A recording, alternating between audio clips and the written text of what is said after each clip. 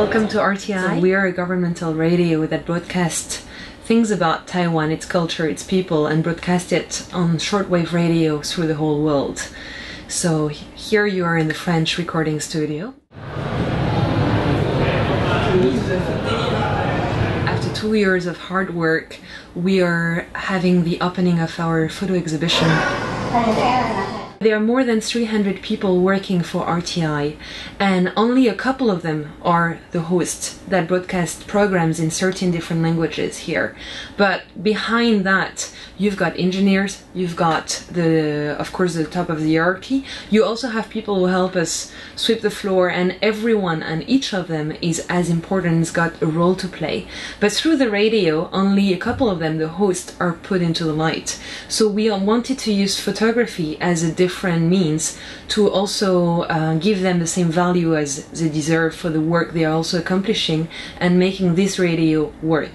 When we started, um, nobody wanted wanted to come, but after we we took some shot, they started to talk to each other and, and talk about the project. So some of them finally uh, agreed, agreed, to, to, join. Yeah. yeah.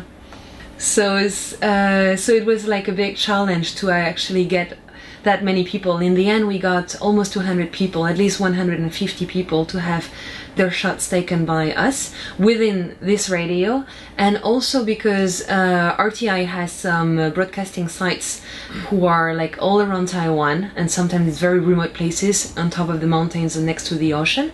So we also traveled there to also get the pictures of those engineers who are working like behind the scenes for RTI. Technically it was very difficult because we chose to only use natural lights. We were shooting outdoors while a lot of the portrait photography uh, projects would be shot indoors just because you can have a better control of the lights and you can use extra speed lights to help you. But I don't know, we challenge ourselves to only Well, you use... know the weather in Taipei is not very helpful.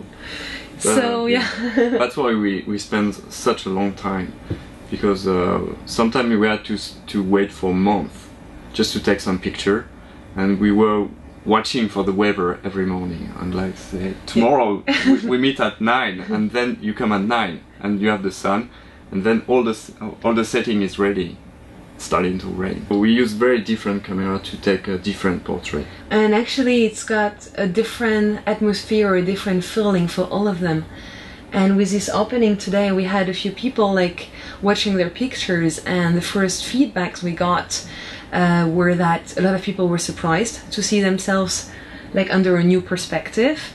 And so that's what we were hoping for to show like a different side of these people and something that is also positive and something that is like funny sometimes and just to change that routine we are working in into something more artistic and aesthetic I, i've been working here for almost six years and i spent a long time to build build a relationship with other colleagues. Maybe because I'm a stranger and they, foreigner, they, yeah. foreigner, they, they see me in different way.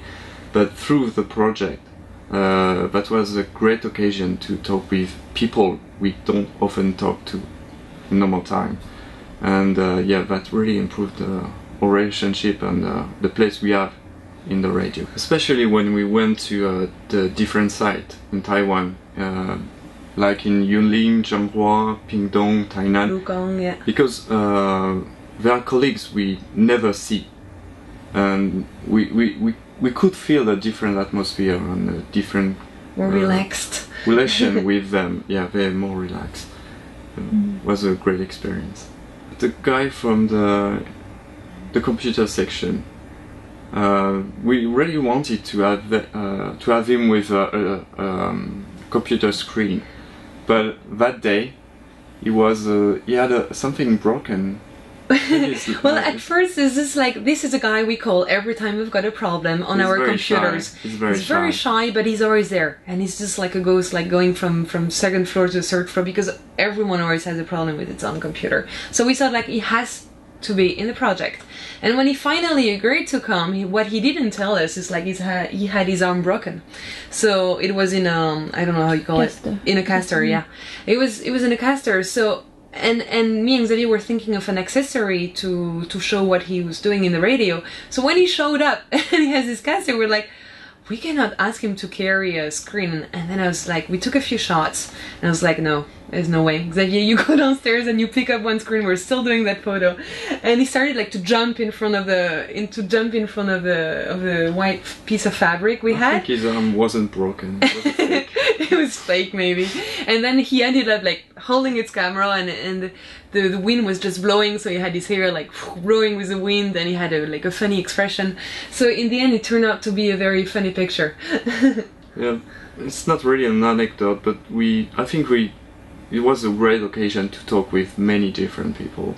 So we had a chance to to to hear to many stories, especially when we went to uh, to the different side of RTI in Taiwan, because we we were sleeping there, and some of them were working overnight. So we spent a lot of time with them to talk with them. It was very nice. hmm we even met some of the only female engineers working for this radio we didn't know there were life. any and she started working there at the working for rti at the age of 16 and now she's retiring at the end of the year so she is one of the key elements of this radio and so we had to a chance to meet all these people